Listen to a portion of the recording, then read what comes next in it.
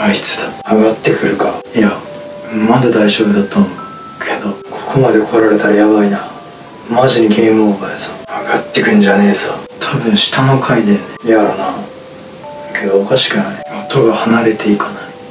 これ止まってる。なんでまたさっきのごぼう見てんのかいやごぼうがあったのは2階だよ3階じゃなかったと思う。じゃあなんで？もしかしてこの下で止まっとんの？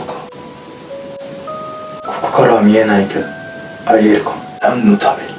やっぱ俺たちの居場所ってバレてんのか？やったらなんで上がってこいねんおかしいやろ。でもやっぱり止まってるよね。とにかく停電が悪いあいつも危険だろ。それはそうなんだけど。でもさっきも5分より長かったし今回はそれ以上に長い可能性もあるってことか。うん。おねえこれくぼみか。やっぱりここにはめるってことなんだとなんか書いてない？くぼみの中。あ本当だ偽りの死は死は？なんだよそれ。偽物をはめたら死ぬってか。くそ。マジどうなってんだよ。まだ止まっとるな。もう10分は止まってるよね。何が目的なんだろう。まあけど上がってくる感じせえへんし。このまま待っとけそのうち消える。やろ音が。え。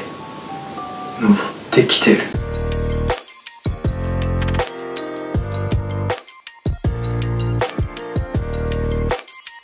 それはそうなんだけど。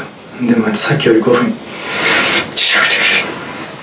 それはそうなんだけど。でもさっきは5分より長かったし。5分より長かったんですよ。化け物は。分かんないっすよね。だから今これ1時間でも2時間でも滞在する可能性があるってことじゃないですか。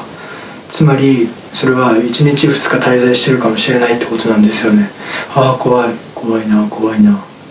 これね何が一番怖いってこれあと充電が今ね10%切ったんで10%もないんですよ。怖いな怖いな。怖い。だからこれ最悪なのは動画撮ってる最中に撮れてないってパターンねよくあるっす。携帯がね結構ねもうねボロいんですよ。やばいほんまやばいよ。本当に。マジ怖いよ。なんか1時間この前もう最悪だって1時間ぐらいぶっ通しで撮って見たらないって怖いな怖いな。